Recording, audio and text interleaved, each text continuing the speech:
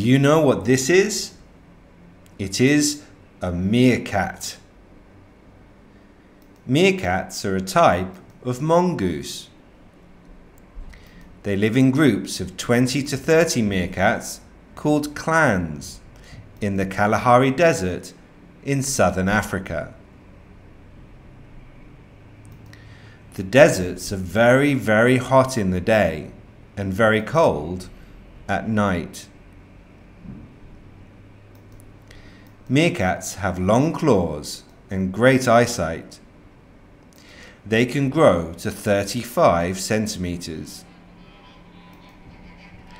Unlike most mongoose, meerkats can stand up. This helps them look out for predators. Meerkats mostly eat insects, but also hunt lizards, snakes, scorpions, spiders, millipedes, centipedes, and small birds. Meerkats work as a team. For example, when meerkats are looking for food, some clan members stand duty and look for predators.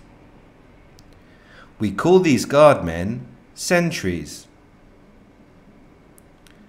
When a predator approaches the clan, the sentries screech out a warning. Their screeches can indicate whether the predator is in the air or on the ground. They can even communicate how near the danger is. Meerkats babysit. When the female group leader is away, the young mothers take care of their children.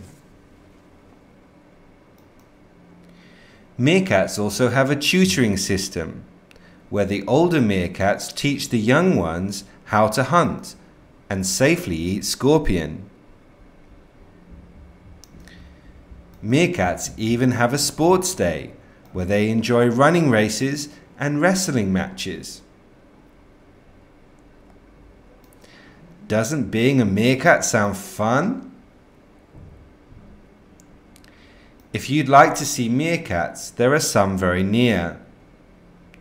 You can see meerkats at Okazaki Zoo in Aichi Prefecture, Ueno Zoo in Tokyo, or Adventure World in Wakayama.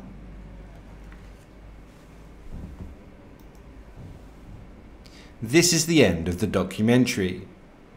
Why not watch the documentary again? And when you're ready, move on to the quiz questions.